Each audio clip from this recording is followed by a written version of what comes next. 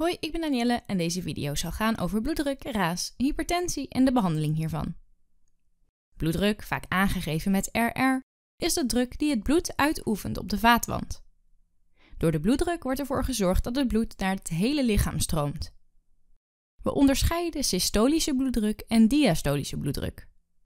De systolische bloeddruk is ten tijde van de samentrekking van het hart, waarbij de bloeddruk op zijn hoogst is.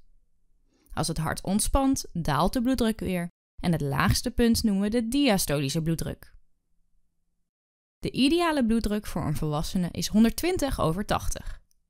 Een bloeddruk boven de 140 over 90 noemen we hypertensie, een te hoge bloeddruk, en een bloeddruk van 90 over 60 of lager noemen we hypotensie, een te lage bloeddruk. De basis van bloeddruk is dat het een combinatie is van perifere weerstand, welke met name te maken heeft met de diameter van de bloedvaten, bekend van de termen vasoconstrictie en vasodilatatie, en cardiac output, ook wel hartminuutvolume genoemd, want het is de hoeveelheid bloed die het hart per minuut wegpompt. Cardiac output kun je berekenen door de hartslagfrequentie in slagen per minuut te vermenigvuldigen met het slagvolume, de hoeveelheid bloed dat het hart uitpompt per hartslag.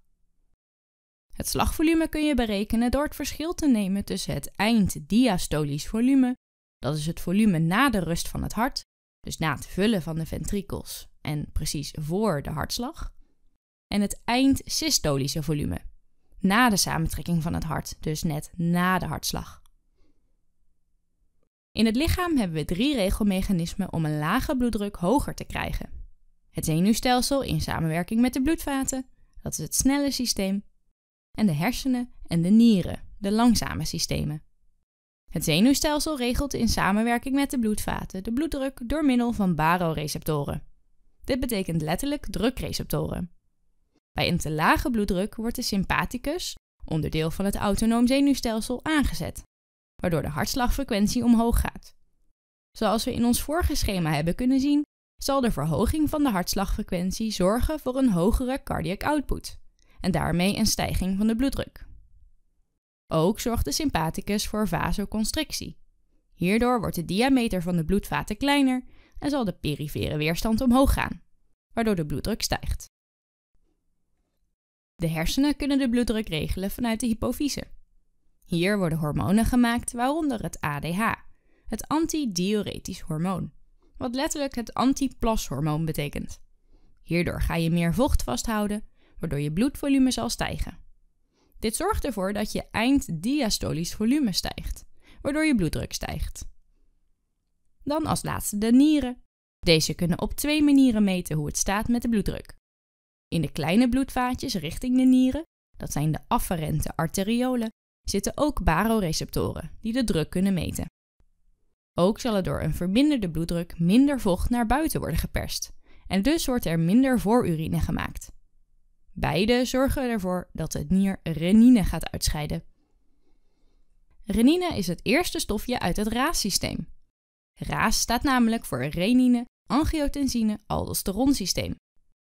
Renine zet angiotensinogeen om in angiotensine 1 en in de longen wordt angiotensine 1 omgezet naar angiotensine 2 door het stofje ACE. Angiotensine 2 heeft drie functies. De eerste is dat het zorgt voor vasoconstrictie, waardoor de diameter van de bloedvaten kleiner wordt, waardoor de perifere weerstand stijgt en dus ook de bloeddruk stijgt. Ook zorgt het voor de uitscheiding van aldosteron in de bijnieren. Aldosteron haalt natrium terug uit de voorurine, waardoor er dus meer natrium in het lichaam blijft. Waar natrium gaat, gaat water. Dit heet osmose. Dus water zal mee teruggaan het lichaam in. Hierdoor is er meer bloedvolume en hiermee stijgt het einddiastolisch volume en dus ook het slagvolume, de cardiac output en hiermee ook de bloeddruk. Ook zorgt het voor een dorstprikkel, waardoor je meer gaat drinken, waardoor je bloedvolume stijgt en dus ook je bloeddruk stijgt. Om een hoge bloeddruk naar beneden te krijgen, hebben we maar één route. Via natriuretische peptiden, waarvan atriaal natriuretisch peptide de belangrijkste is. Als er door een hoge bloeddruk extra druk staat op het hart, rekken de volumereceptoren uit, waardoor ANP wordt afgegeven. Dit leidt tot extra uitplassen van natrium. Waar natrium gaat, gaat water, dus het lichaam verliest hiermee ook water. Het bloedvolume neemt af en dus neemt ook de bloeddruk af. ANP vermindert ook het dorstgevoel, waardoor je minder gaat drinken. En het remt de afgifte van bloeddrukverhogende hormonen, zoals ADH en aldosteron, waar we het net over gehad hebben. Ook zorgt het voor vasodilatatie, waardoor de diameter van de bloedvaten toeneemt, waardoor de perifere weerstand daalt en dus ook de bloeddruk daalt. Zo heeft je lichaam dus meerdere opties om je bloeddruk te regelen. Als er iets in misgaat, dan kan de bloeddruk te laag worden, hypotensie, of te hoog, hypertensie. Hypotensie kan erg vervelend zijn. Het zijn de sterretjes die je ziet als je te snel opstaat. En je kan erdoor flauw vallen. Ook zien we hypotensie in het kader van shock. Een levensbedreigende aandoening waarbij er te weinig circulerend volume is, waardoor de organen niet genoeg bloed krijgen. Zie hiervoor de video over shock. Hypertensie geeft juist vaak geen symptomen. En daarom wordt het ook wel een sluipmoordenaar genoemd. Het kan namelijk leiden tot cardiovasculaire ziekten, zoals hartfalen, beroerte of een hartinfarct. Echt klachten zoals hoofdpijn, wazig zien en benauwdheid krijg je pas als je een extreem hoge bloeddruk hebt, zoals bij een hypertensieve crisis, waarbij je organen zoals je hersenen, je ogen, je hart en je nieren kunnen worden beschadigd. Hypertensie is in 90% van de gevallen een essentiële hypertensie, of ook wel primaire hypertensie of idiopathische hypertensie genoemd, waarbij geen directe oorzaak aan te wijzen is behoudens een opstapeling van risicofactoren, zoals leeftijd, geslacht, stress, overgewicht, roken en zitten. In 10% van de gevallen gaat het om een secundaire hypertensie, waarbij er wel een oorzaak aan te wijzen is, meestal in het kader van een andere ziekte, zoals een nierarteriestenose of een phaeochromocytoom. Dan de behandeling van hypertensie. De belangrijkste behandeling van hypertensie zijn leefstijladviezen. Stoppen met roken, voldoende bewegen, gezond eten, alcohol minderen, afvallen en stress aanpakken. Daarnaast kunnen we ook bijspringen met medicatie. Die noemen we de antihypertensiva. Deze grijpen in op de regelmechanismen die we net hebben besproken. Laten we het schema er weer bij pakken. Raas kunnen we remmen door het stofje ACE te remmen, met ACE-remmers, zoals lisinopril en enalapril. Hierdoor wordt angiotensine 1 niet omgezet in angiotensine 2. Hierdoor stopt het verdere verloop van het raassysteem en zal dus de bloeddruk dalen.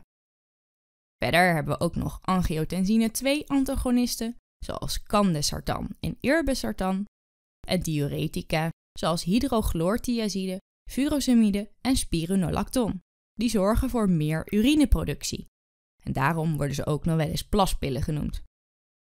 Ook zijn er types diuretica die ADH remmen. De sympathicus kunnen we remmen met beta-blokkers, zoals metropolol en propranolol. Vasoconstrictie kunnen we remmen met calciumkanaalblokkers, zoals amlodipine en nifedipine. En alpha-adrenoreceptorblokkers, zoals doxazosine. Hierdoor zullen de normale mechanismen om de bloeddruk te verhogen worden onderbroken, waardoor de bloeddruk zich normaliseert. Kan jij met de kennis uit deze video verklaren waarom patiënten met een beta-blokker klagen over een slechte conditie bij het sporten? Ik hoor het graag van je in de reacties. Heb je wat gehad aan deze video? Geef hem dan een duim omhoog en ik zie je bij de volgende video. Bedankt voor het kijken.